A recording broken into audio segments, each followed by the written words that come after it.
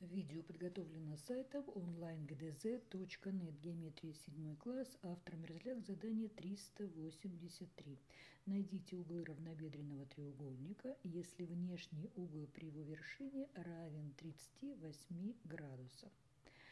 Итак, в условии идет речь о равнобедренном треугольнике.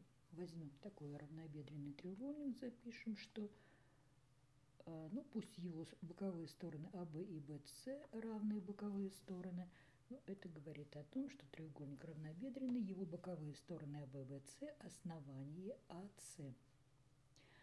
Нам дан внешний угол при вершине. Вершина – это вершина B, которая, угол, который лежит напротив основания. И вот теперь изобразим внешний угол. Внешний угол – это угол, смежный с углом при вершине равнобедренного треугольника. Ну, в данном случае. А вообще это смежный угол с любым из углов треугольника. В данном случае просто говорится о том, что внешний угол при вершине.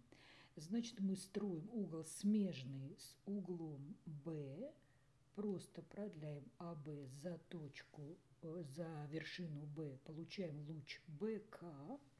И вот этот внешний угол CBK, он равен 38 градусам.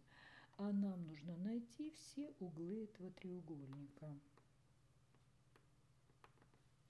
Угол А, угол Б и угол С.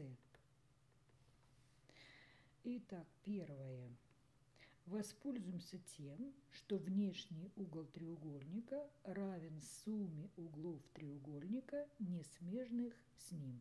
То есть угол CBK равен сумме углов А и С. Но треугольник АБС равноведренный, АС в нем основание, и углы А и С в нем равны угол А равен углу С. Тогда мы можем вот это равенство переписать так. Точнее, мы его превратим в уравнение. И в этом уравнении вместо ЦБК мы запишем 38 градусов. Угол А равен углу С. Тогда это будет 2 угла А вместо А плюс С. Так? Тогда отсюда получается, что угол А равен 38 разделить на 2, ну, запишем это, равен 19 градусам, а значит и угол С тоже равен 19 градусам. Ну и угол Б